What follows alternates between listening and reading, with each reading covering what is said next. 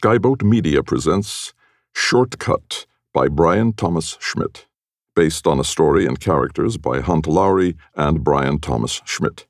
This book is read by Stefan Rudnicki. Dedication For Jonathan Madagian, my personal Sheldon, this story would never work without your genius. You are the real Jason Maxx, and I'm so honored and humbled to know you. For my kids, Kishi and Kenji, study hard, and I know you could change the world too one day. Thanks for already changing mine. And as always, for May. Chapter 1 Thump! Five minutes. For a moment, the world around Jason Maxx faded under the cacophony within. His heart might burst from his chest at any moment. Why do I feel like a grade schooler about to make my first presentation in science class? he thought as he watched from backstage left at the 2025 Lightspeed Conference, the global gathering of the brightest futurists, engineers, and spaceflight pioneers together in one place, rapt at a speaker giving his summary of a project. Thump. Jason's stomach clenched. This was the single biggest moment of his 37 year life. Everything he'd worked for, his future, would be determined here. In just a few minutes, he'd unveil his own project, one that had consumed half his life his game changing vision for space travel. Jason's whole life depended on it. Jason resisted the urge to run a hand through his perfectly coiffed blond hair, for the first time wishing his pale skin bore just a hint of the tan his wife, Laura, wore to perfection. The visionary leader's nervousness caught him by surprise.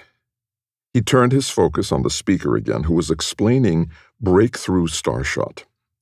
Their pride and confidence is certainly apparent in that title. And the concept was indeed cool, but Shortcut was better. And it promised piloted spaceflight in this decade. People weren't excited about space anymore, but they still loved heroes. And damn if we don't still need them. His project, Shortcut, could deliver much faster than Starshot. Space and heroes. Jason was going to give them both. Starshot was headed by physicist and venture capitalist Yuri Milner, with a board of directors of heavy hitters, including Stephen Hawking before he died. Starshot envisioned launching a mothership of a thousand tiny spacecraft on a scale of centimeters into high altitude Earth orbit, and then deploying them to accelerate via laser driven sails at up to 100 kilometers per second for 10 minutes which would achieve much higher velocities on the order of 15% of the speed of light at speeds of 100 kilometers per second to Alpha Centauri, taking 20 to 30 years to make flybys of Earth like planets in that solar system.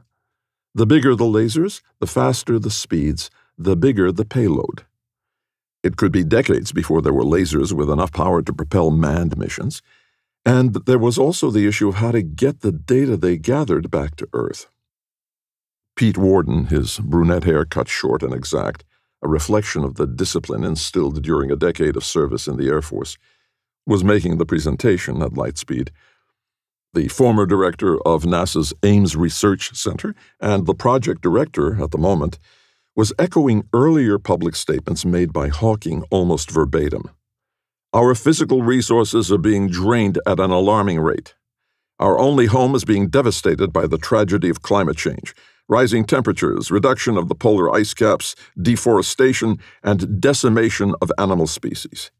The result of our ignorance and unthinking actions. We are running out of space, and the only places to go to are other worlds. It is time to explore other solar systems. Spreading out may be the only thing that saves us from ourselves. We are convinced that humans need to leave Earth. Breakthrough Starshot is the first step to taking us there. The idea was sexy, Jason had to admit, but what people really wanted was to send humans. We hope you enjoyed this preview. To continue listening to this audiobook on Google Play Books, use the link in the video description.